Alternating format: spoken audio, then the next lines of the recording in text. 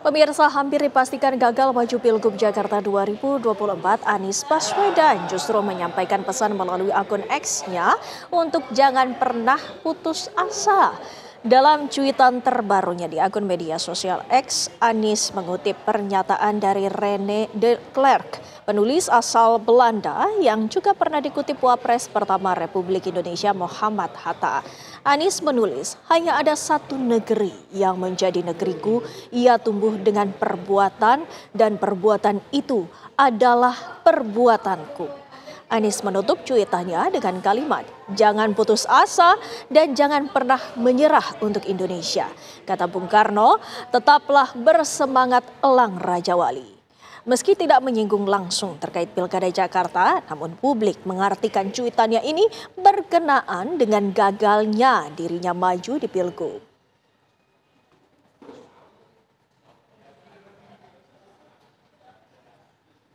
Berdasarkan hasil survei terakhir, 94 persen pemilih PKS di Jakarta ternyata tetap menginginkan Anies Baswedan sebagai calon gubernur, bukan Ridwan Kamil. Meski begitu, PKS mengklaim tidak akan ditinggalkan pemilihnya meski partainya mengambil keputusan yang melawan arus suara akar rumput.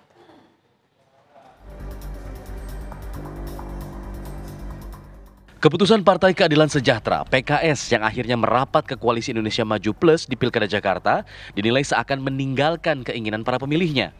Hal itu tergambar lewat hasil survei dari Saiful Mujani Research and Consulting (SMRC) yang menemukan ternyata sebanyak 94 persen pemilih PKS di Jakarta menginginkan Anies Baswedan sebagai calon gubernur, bukan Ridwan Kamil.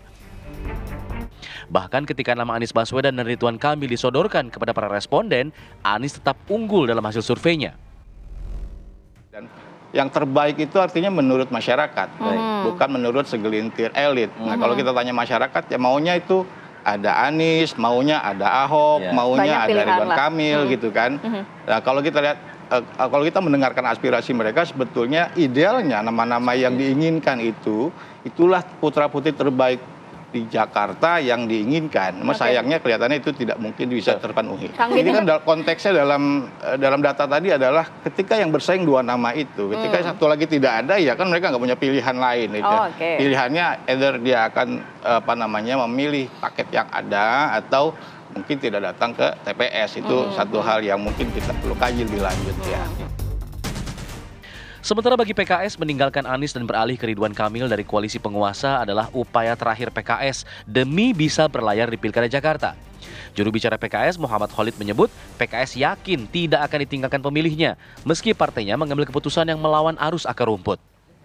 Apa yang terpantau dengan survei itu denyut nadinya kami juga sudah tangkap ya. Jadi eh, bahwa kami Partai Keadilan Sejahtera juga sudah memberikan dukungan kepada Mas Anies Baswedan di opsi yang pertama. Jadi dalam maju di pilkada ada ambang batas. Ambang batas itu persyaratan untuk bisa perahu ini berlayar dan hingga bahkan detik terakhir kami sebelum deklarasi Ridwan Kamil Suswono pun itu